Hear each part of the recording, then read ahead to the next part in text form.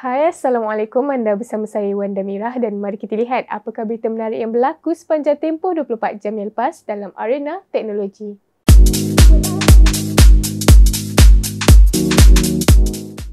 Samsung dijangka memasarkan telefon dengan skrin boleh lipat seawal Februari 2020. Ia dijangka menawarkan skrin bersaiz 6.7 inci dengan rekaan hampir petak apabila dilipat. Jenama ini turut akan memperkenalkan Galaxy Fold generasi kedua pada penghujung 2020 kelak. SK Hynix iaitu syarikat pembuat chip memori bakal memperlihatkan komponen terbaru melalui siri SSD Gold P31 dan Platinum P31 di acara CES 2020. Buat masa ini, SK Hynix tidak mengumumkan sebarang butiran mengenai siri SSD ini selain daripada ia akan hadir dengan variasi SATA dan PCIe.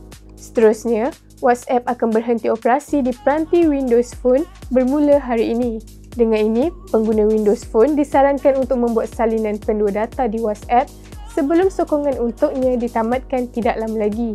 Netflix pula mengumumkan bahawa cukai SSD 6% akan dikenakan bermula 9 Januari kelak. Cukai ini akan dikenakan untuk plan basic, standard dan premium. Sementara, plan muda ahli pula tidak akan menerima sebarang kenaikan harga dan cukai. Akhir sekali, Google Play Store juga turut akan mengenakan cas tambahan SSD 6% bermula 1 Januari 2020. Cas ini tertakluk kepada pembelian aplikasi, kandungan dan pembelian dalam aplikasi di Google Play. Jadi, itu sahaja rangkuman ringkas yang berlaku sepanjang tempoh 24 jam yang lepas dalam arena teknologi.